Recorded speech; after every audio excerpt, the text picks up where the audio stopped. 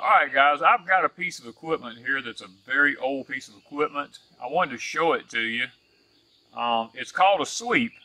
This was used back in the day when they had horses and mules pulling plows to plow in between rows with. Now, to show you how far apart they put their rows, uh, the mule hooked up, or the horse hooked up to that end right there, and it had a it had a, a plow that pointed down the ground to help keep it centered.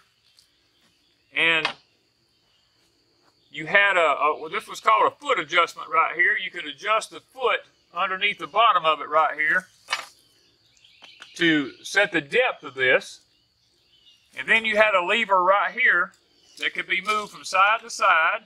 Um, that spread these out or narrowed them up so that when the animal walked between the row, and it had two wooden handles coming up here, just like my Hoss tool does, and you stood behind it right here as the mule pulled it along, and you could watch these right here. These things right here, these blades on the edge, they ran right under the surface, depending on how deep you set it, and clipped the weeds off right underneath the edges of the surface and plow between the rows. But now I wanted to show you the thing that's different from gardening today is Back then, they didn't use a lot of commercial fertilizer. Whatever the soil had in it, other than maybe some manure, that's all the old people had. So their rows were like, this is in between the rows. Now the rows would be like right over here. They were almost like four feet apart.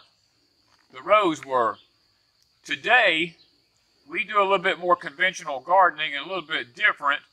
We put our rows a lot closer together because we have mechanized equipment to do it with. But I wanted to take and show you, I'm going to rebuild this. And I'm going to have it back like brand new again. Repaint it and everything and put new handles on it and new bolts everywhere. I'm going to make this baby like a brand new one again because you know what? I don't know. I may have to have this thing one day. And it sure would be nice to go ahead and have it ready when that day comes. And if that day never comes, then hey, it's a great piece of equipment that can be passed on to someone who might use it one day. But so guys, I wanted to just it's just a short video to show you some of the different pieces of equipment that's out there that our forefathers used. Uh, this is a mule drawn sweep, and that's all it's used for, to my knowledge. It's just to clean the middles of the rows. You could do corn, cotton, whatever it was they planted, uh, vegetables, you know. And there's parts missing to this, I'm sure, that I'm gonna have to locate, but as a whole, it's in pretty decent shape, and I'll, you know, I'll go in and sand it, clean it all up, get the rust off of it, repaint it. Anything that's bent a little, I'll probably try to straighten that out. I don't even know who made it. I don't know if there's any markings on it. It's just something that I come across and thought like I might want. Um, but it's called a mule drawn sweep or a horse drawn sweep, whichever way you want to look at it. And I just thought it might be something that y'all would be interested in seeing because so many pieces of equipment like this now are obsolete. No one even knows about them. And when when we come across them, I think it's good that we learn about them and that we know what they are and that they're out there. And I'm sure some of y'all may even have them.